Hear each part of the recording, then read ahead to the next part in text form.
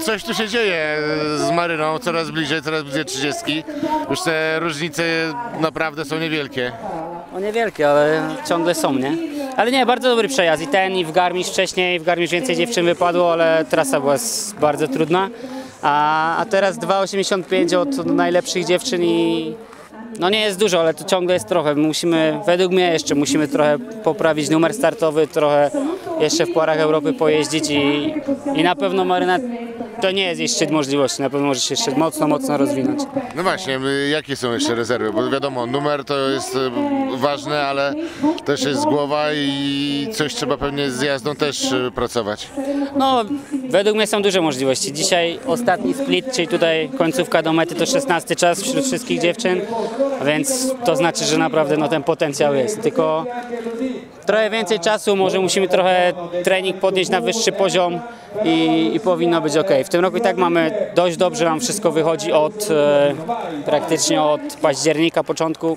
Bardzo dobrze trafiamy z warunkami i z, z treningiem. Mamy też Przecież Maryna już kilka lat jeździ też w Pucharze Europy, dlatego jest nam teraz łatwiej, bo możemy z innymi teamami trenować. Oni znają Marynę, znają już mnie i, i ta współpraca między nami a nimi jest coraz lepsza i wydaje mi się, że to daje też efekty, więc trzeba iść w tą stronę i szukać trochę tej pracy z innymi zagranicznymi teamami. No.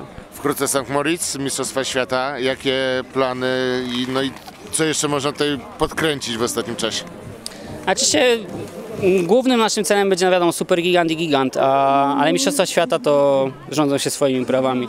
Także jeżeli będzie szło tak jak teraz idzie, czyli Maryna ciągle jeszcze, jeszcze nie jest w optymalnej formie według mnie, tam tydzień temu jeszcze była chora, wróciliśmy do Polski, więc mam nadzieję, że na tych Mistrzostwach Świata już będzie jeszcze, jeszcze lepiej niż jest teraz. Nie?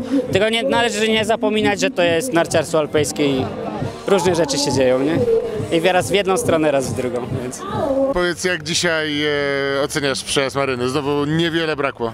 No niestety już jest bardzo blisko, ale jeszcze, jeszcze troszkę brakuje, ale myślę, że jazda już jest na tyle dobra, że w końcu, w końcu się przedrzemy i jak już się przedrzemy, to już tam zostaniemy. Na maksa. Tak jest. Nie będziecie brać jeńców? Bez jeńców. Pozdrawiam.